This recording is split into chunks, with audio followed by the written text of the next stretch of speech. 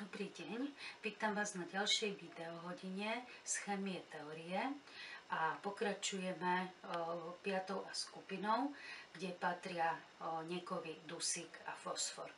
Takže môžeme si dať nadpis prvky piatej a skupiny.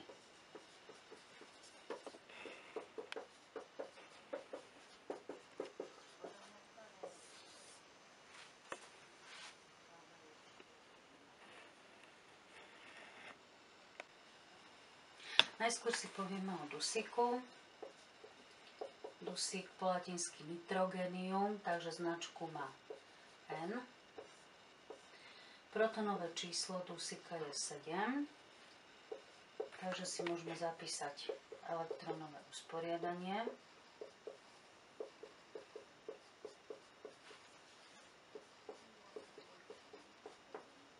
z ktorého vidíme, že dusík má dve vrstvy, takže táto druhá vrstva je e, valenčná. Na valenčnej vrstve má 5 elektrónov. Vidíme, že má 3 nespárané elektróny, takže mu 3 elektróny chýbajú, aby mal úplne zaplnenú vrstvu. E, z čoho nám vyplýva, že atómy dusika sú veľmi reaktívne.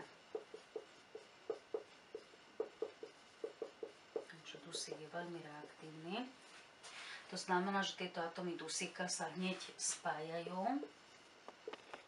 Keďže každý atóm dusíka má 3 nespárené elektróny, takže pri spájaní e, vytvoria 3 väzby, takže vzniká e, medzi tými atómami trojitá väzba.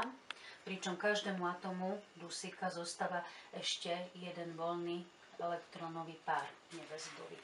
Takže 3, 3 elektróny dáva ten dusík do väzby, vzniká trojitá väzba a jeden elektronový pár na valenčnej vrstve mu zostáva. Takto vzniká molekula dusíka. Keďže tá trojitá väzba medzi tými atomami dusíka je pevná, tak molekula dusíka už je nereaktívna.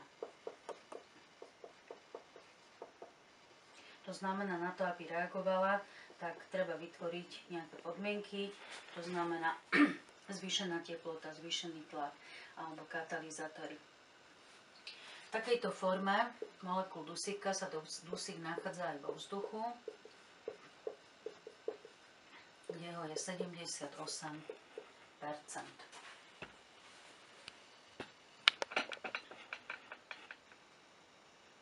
Čo sa týka väzbovosti, tak z toho, že má tri nespárané elektróny, nám vyplýva, že dusík je vo väčšine zlúčený trojväzbový.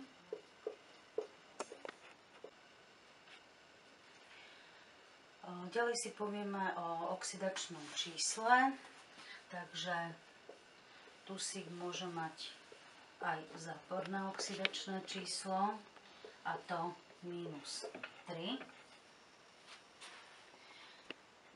Buď v amoniaku, alebo v zlúčeninách, ktoré sa volajú nitridy.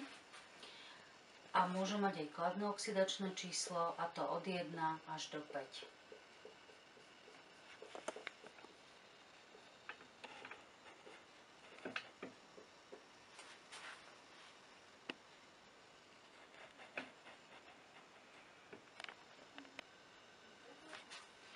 Takže čo sa týka fyzikálnych vlastností, tak dusík je za bežných podmienok bezfarebný plyn, bez zápachu.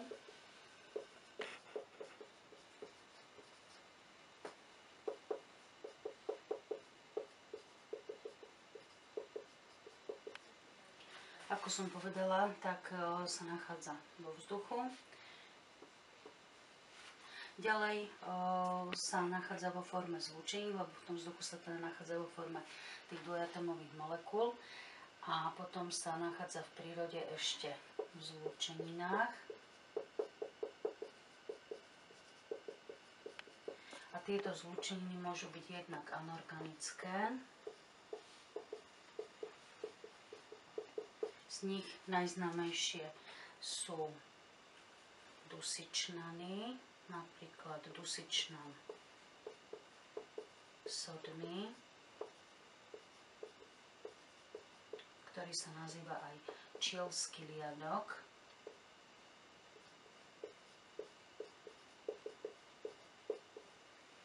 látka, ktorá o, sa používa ako hnojivo a keďže veľké ložiska o, boli v Čile, alebo sú v Čile, tak podľa toho má ten názov čilský riadok.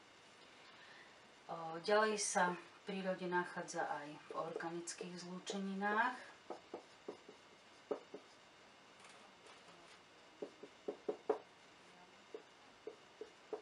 Organické zlúčeniny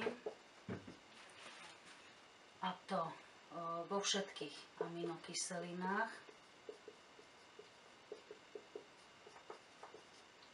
Ďalej sa nachádza vo všetkých bielkovinách, ale takisto aj v nukleových kyselinách, čiže pri bonukleovej kyseline RNA alebo takisto aj v deoxyribonukleovej kyseline DNA. Keďže Aminokyseliny, bielkoviny a nukleové kyseliny sú súčasťou nášho organizmu a sú to veľmi dôležité zlúčení v našom organizme. A takže z toho nám vyplýva, že dusík je dôležitý biogénny prvok.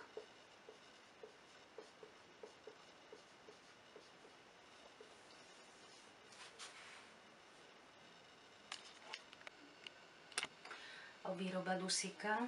Dusík podobne ako kyslík a vzácne plyny e, sa vyrába frakčnou destiláciou skvapalneného vzduchu. Frakčná destilácia skvapalneného vzduchu.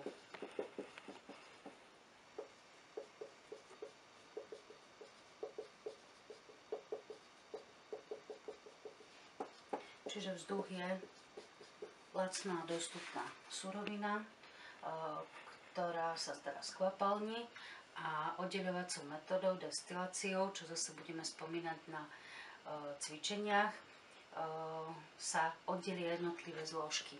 Preto sa tá destilácia nazýva frakčná, lebo zložka sa povie inak frakcia, takže pri tejto destilácii postupne oddelíme všetky zložky z toho vzduchu, takže vyrába sa tá kyslík, vzácne plyny aj dusík. Čo sa týka použitia dusika,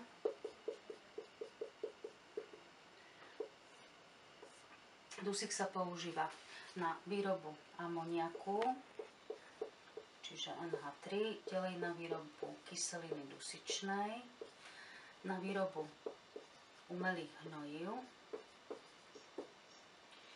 ale tiež e, je napríklad v žiarovkách,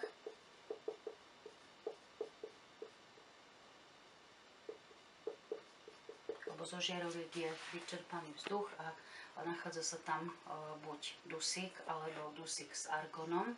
Argon sme si spomínali pri vzácných plynoch, tam som to už hovorila, lebo tieto plyny sú nereaktívne. Ďalej sa môže používať aj v potravinárstve.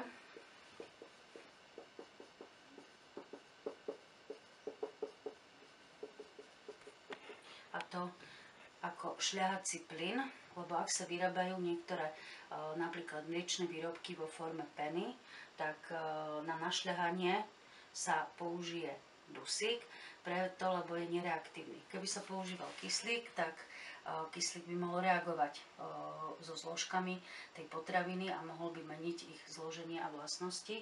Dusík, keďže je nereaktívny, tak sa môže použiť ako šľahací plyn.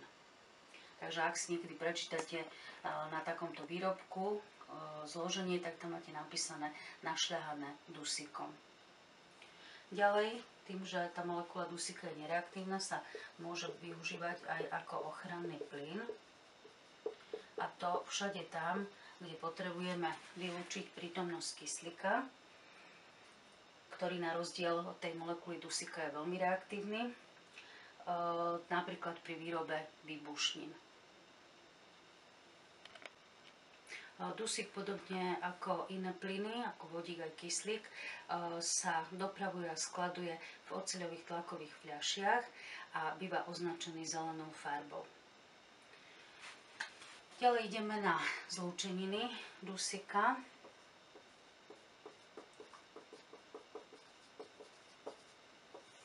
Takže takou najznámejšou zlúčeninou je amoniak, Iný názov, starší, ktorý sa tiež používa, je čpavok.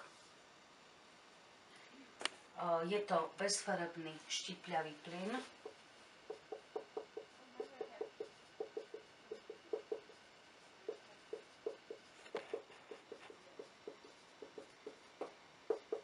ktorý je veľmi dobre rozpustný vo vode.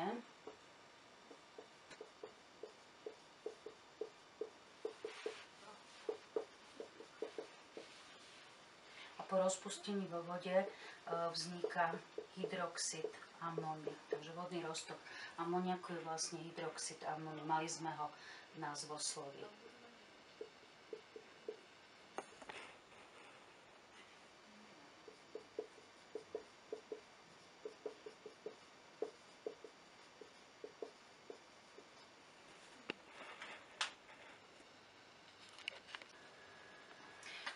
Amoniak sa vyrába z dusika a vodíka za o, zvýšenej teploty 450 stupňov Celzia a zvýšeného tlaku 20 megapaskalov a v prítomnosti železa. Čiže o, tie reaktanty sú v plynnom skupenstve, o, prebieha tá reakcia na železných sitách a vzniká amoniak. Túto rovnicu sme už mali, takže som ju znova uviedla teraz preto, aby sme si zopakovali úpravu rovnice. Čiže vidíme, že nám vstupujú dva atómy dusika, takže vystupovať musia dva. Tým pádom nám vystupujú 2x3 6 atómov vodíka, takže aj na druhej strane musíme mať 6, to znamená, sa musíme dopísať trojku, čiže 3x2 je 6. No a nad šípkou a pod šípkou, tak ako sme si hovorili už predtým, uvádzame reakčné podmienky, čiže podmienky, za akých tá reakcia prebieha. Ak tieto podmienky nedodržíme, tak reakcia prebiehať nebude. Amoniak e, sa používa napríklad ako chladiaca látka.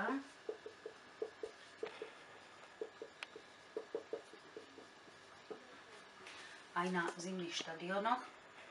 A už sa niekedy stalo, Ehm, aj u nás na Slovensku, že eh, ten amoniak začal unikať na zimnom štadióne, takže museli ľudí z tohto štadióna evakuovať. Eh, ďalej sa používa aj do farieb na vlasy. Aj keď teraz už eh, sa snažia vyrábať aj tieto farby na vlasy bez amoniaku, ale väčšina z nich ten amoniak obsahuje. Takže pri farbení vlasov, keď cítime taký štipľavý zápach, to je vlastne zápach toho amoniaku. Amoniak sa vytvára aj v našom tele, a to pri metabolizme bielkovín, konkrétne pri odburávaní aminokyselín. Keďže je ale pre organizmus toxický, tak vzniká iba na krátku chvíľu a hneď sa mení na ďalšiu zlúčeninu a to na močovinu ktorá nie je toxická a vylúčuje sa z organizmu močom. Ďalej také známe zlúčeniny dusika sú jeho oxidy. Oxidy vo všeobecnosti sú súčasťou výfukových plynov z aut alebo tiež nejakých priemyselných exhalátov. Tieto oxidy dusika znečisťujú ovzdušie, pretože sú jedovaté. Taký známy oxid dusika, o ktorom si povieme bližšie, je oxid dusný.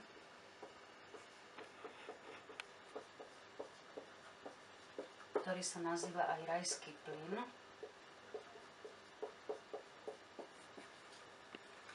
A používa sa v lekárstve pri narkoze, čiže ako anestetikum.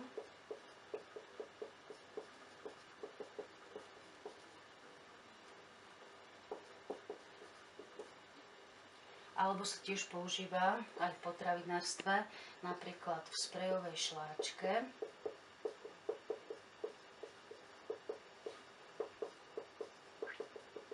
Keď si prečítate opäť zloženie, tak tam budete mať hnací plyn oxid dusný. Ďalšia dôležitá zlúčenina dusika je kyselina dusičná.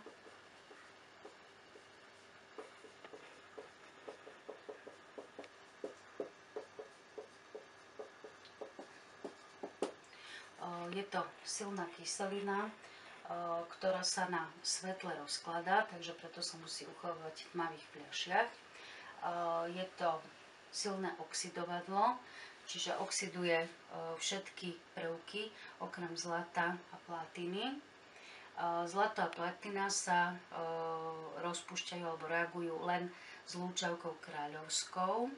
A čo je to lúčavka kráľovská? Neviem, či ste už počuli takýto názov niekedy si ľudia myslia, že je to nejaká jedovatá rastlina alebo nejaký hmyz, ale je to zmes kyselín. Kyseliny dusičnej a chlorovodíkovej v pomere 1 ku 3. Čiže jeden diel kyseliny dusičnej a tri diely kyseliny chlorovodíkovej. A to je jediná látka, ktorá rozpúšťa zlato. Takže môžeme si poznačiť tej kyseliny dusičnej. Reaguje so všetkými prvkami, okrem zlata a platiny.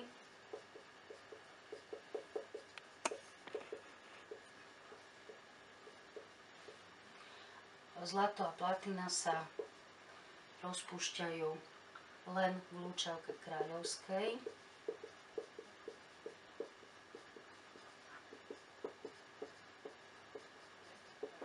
čo je zmes kyselín, kyseliny dusičnej a chlorovodíkovej v pomere 1 ku 3. Soli kyseliny dusičnej sú dusičnany.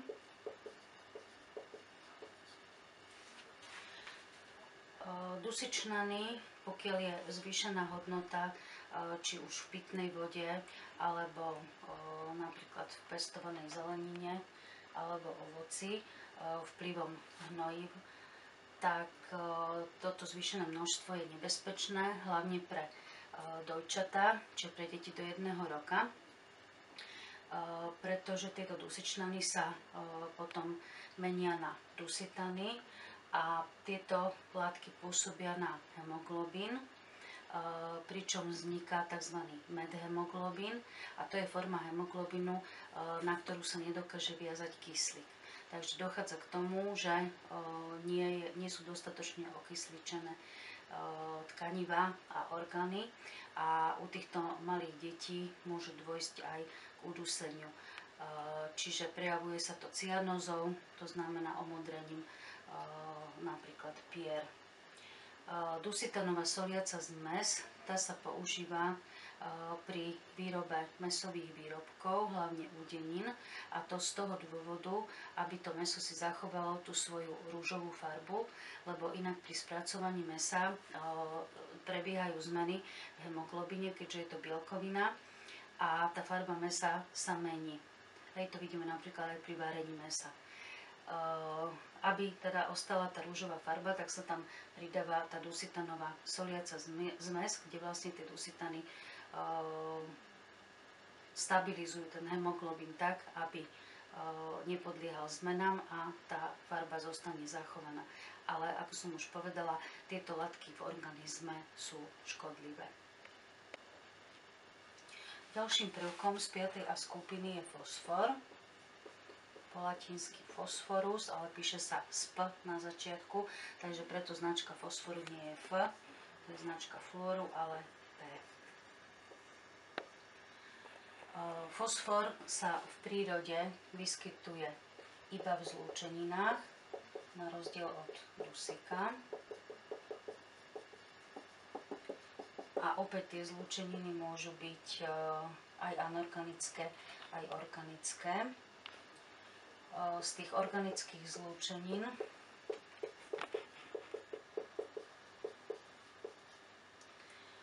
sú to nukleové kyseliny, čiže DNA, RNA, ktoré obsahujú aj dusík, aj fosfor. Ďalej sú tu napríklad fosfolipidy, čiže to sú zložené tuky, ktoré majú viazaný fosfor a sú stavebnou látkou bunkových membrán. Ďalej je fosfor aj súčasťou enzymov,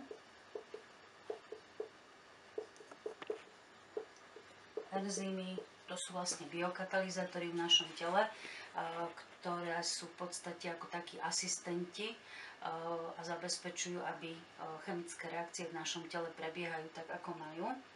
No a tieto enzymy sú po chemickej stránke bielkoviny. Niektoré sú jednozložkové, tie obsahujú iba bielkovinu a niektoré sú dvojzložkové, tie obsahujú aj inú zložku a práve tou inou zložkou môže byť tzv. koenzym, ktorého súčasťou býva aj fosfor. Čo sa týka anorganických zlúčenín,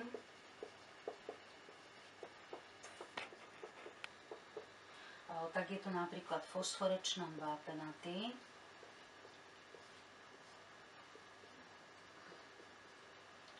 ktorý je súčasťou kostí a zubov.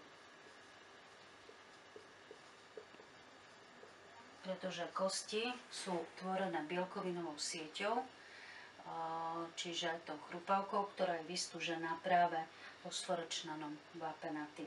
Takže preto vápnik a fosfor sú dôležité pre zdravé kosti a zuby. Keďže sa fosfor nachádza aj v kostiach, aj v zuboch, aj v tých nukleových kyselinách, fosfolipidov a tak ďalej, takže z toho nám vyplýva, že je to takisto dôležitý biogénny prvok.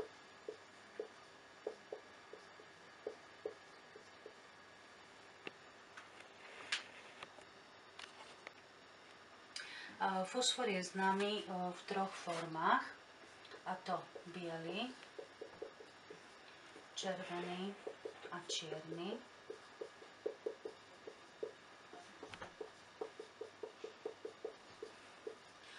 Bielý fosfor je veľmi reaktívny.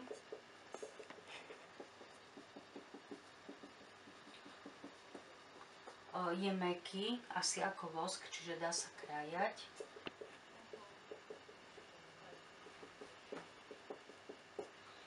Na vzduchu je samozápalný.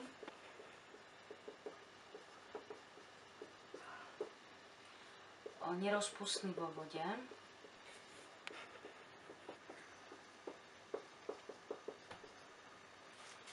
A keďže na vzduchu je samozápalný, tak sa uchováva práve pod vodou a je jedovatý.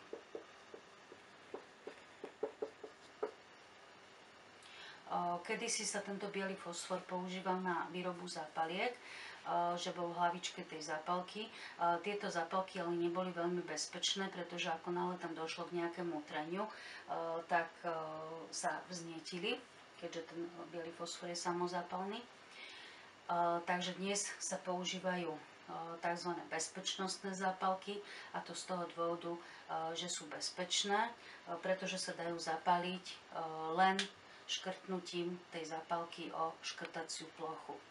Pretože tieto zápalky, ktoré mali v tej hlavičke ten biely fosfor, tak sa dali zapaliť škrtnutím o čokoľvek. Hej, to ste možno videli v nejakých filmoch, nejakých westernoch, hej, že škrtol o stôl napríklad a tá zápalka sa zapalila. Takže dnes sa tie zápalky volajú bezpečnostné z toho dôvodu, že sa dajú zapaliť len škrtnutím o tú škrtaciu plochu. Bielý fosfor sa používa na ničenie hlodavcov, keďže je jedovatý, alebo sa z neho vyrábajú zápalné bomby. Takéto, takéto strely, ktoré obsahujú fosfor, po vybuchnutí vlastne ten fosfor reaguje s kyslíkom zo vzduchu a vzniká taký hustý biely dym a pokiaľ sa dostane na pokožku, tak spôsobuje veľmi vážne a ťažké popáleniny. Takže to bol biely fosfor. Ďalšia forma je červený fosfor. Tento červený fosfor je menej reaktívny ako biely. Je tiež nerozpustný vo vode a nie je jedovatý. Červený fosfor sa používa na výrobu zápaliek.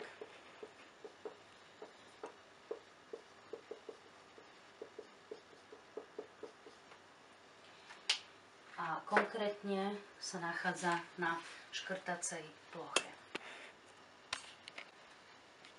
Takže sme si hovorili na minulej videohodine, že v hlavičke tej zápalky sa nachádza síra. No a na škrtacej ploche sa nachádza tento červený fosfor. A princíp zapálenia zápalky spočíva v tom, že keď škrtneme zápalkou o tú škrtaciu plochu, tak ten červený fosfor sa tým trením zmení na biely a biely, keďže je samozapalný, tak zapálí tú zápalku.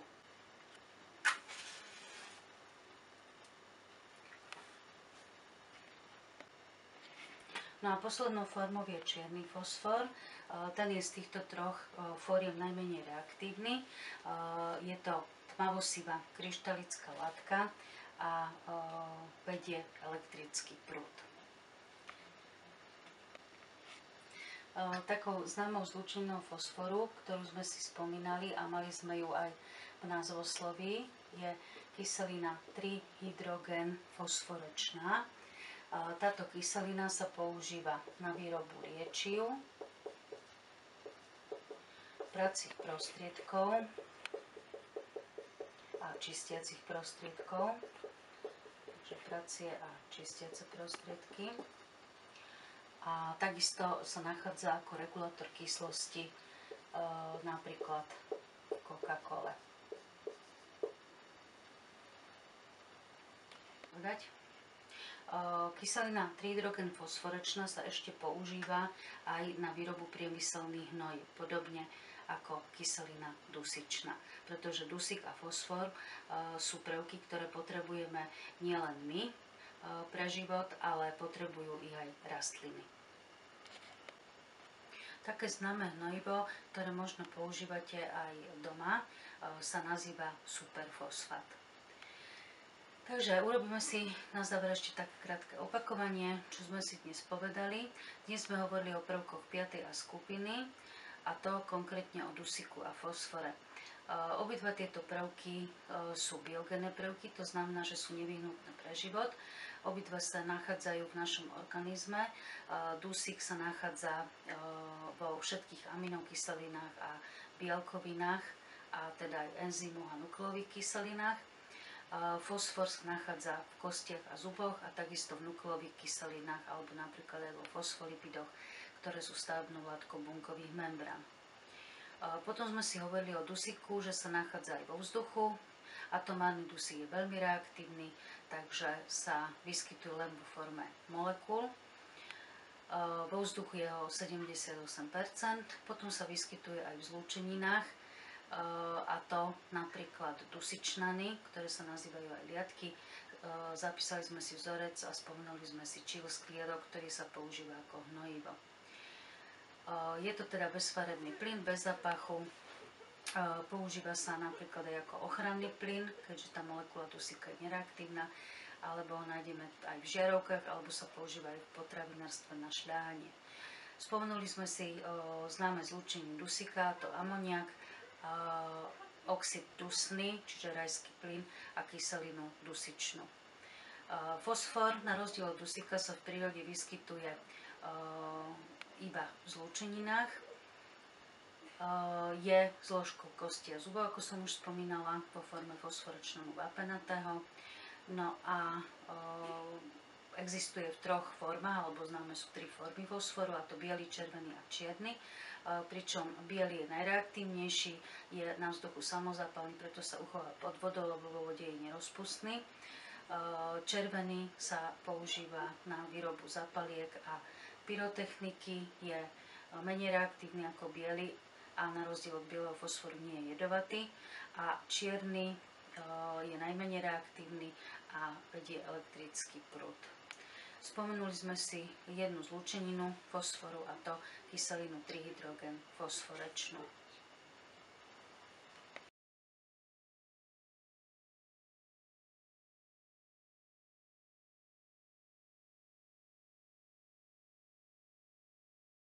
A biely, keďže je samozapalný, tak zapali tú zapalku. Že asi nie, takže znova.